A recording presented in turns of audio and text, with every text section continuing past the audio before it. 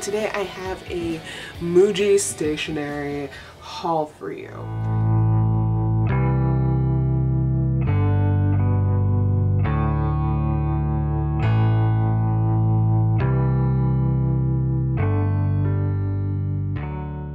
Those of you who are not familiar what Muji is, it is a Japanese brand that is centered around minimalistic styled products of good quality with affordable prices. So if you didn't know that, I was right there with you, but I'm so glad I know about it now. So that's basically what it is. Enough rambling, let's just show you what I got. Basically, a lot of notebooks.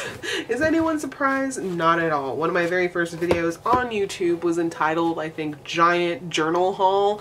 So this is just kind of like a more specific, specialized epic journal haul. So I got these two passport sized notebooks. They're cute. This one is just dot grid and the other one is green cover and it has a graph paper. Really nice, really cute little size. Maybe I'll be experimenting with Passport Traveler's notebook, we'll see. But if not, it's always good to have small notebooks to doodle in. Next, we're going on to the A6 size notebooks. I recently was given an A6 size leather cover from my cousin. Oh my gosh, that is a tongue twister. But I recently received that for a gift. The problem with that is not that I didn't love it, it wasn't beautiful, it's just I've never experimented and I never owned an A6 size notebook.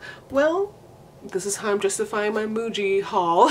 now I have one, two, three, four notebooks that will fit in my new leather, cover. This bad boy here is a nice chunkier version. It is more of a workhorse, probably going to be a journal, but it has this cream colored paper.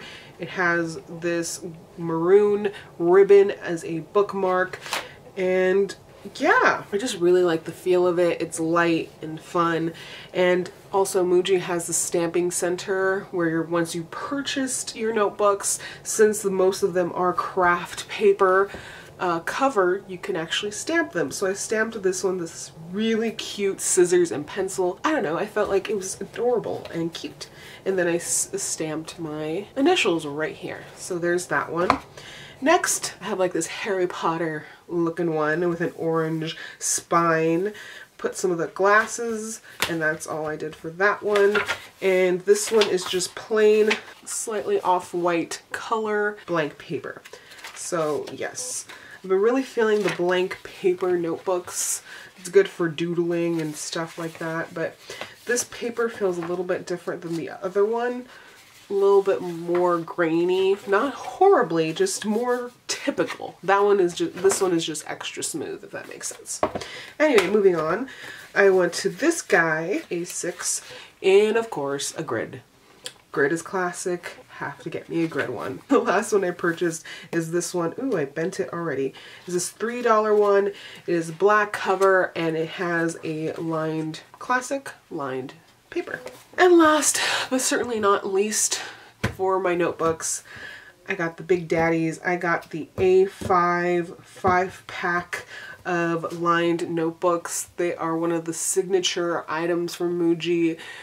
I think every single haul I watched on YouTube prior to going to Muji has some form of these notebooks in it. So of course I saw them and I had to pick them up. I don't usually play an A5, but what the heck for $5 of good quality notebooks, I got for $3. That is not bad at all. So there's that. So those are all the notebooks. Now we're going to go on into the accessories and the pens. Much excite. So next I got this pen case. It is a classic one from their line. Just a small, clear, opaquish pencil case that I could take with me on the go. And it forces me to narrow down my selection of pens and just take the ones that I, I really need slash want with me on the go. So there's that. And in here are just four of the pens that I purchased. So let's just get on with that. Swatching these guys. Gonna start with the gel. I think these are the gel pens. Yep. I got them in 0.7 Oops, I accidentally got two navy. I thought I got a black one and a navy, but now I have two navy, so I'm just gonna have to stick with that now, aren't I? So, I got these. Everyone loves them. Really supposed to be nice. Ooh, I like it. I like the thicker nib. They have them in 0.38, 0.5, and then a 0.7 is the thickest.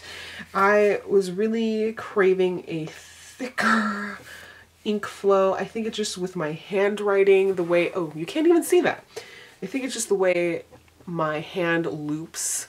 I like a thicker ink to make it easier. Here's the navy blue one. Got two of those apparently. I got this black brush pen just to start maybe calligraphy, but more just playful lettering to spice up my journals.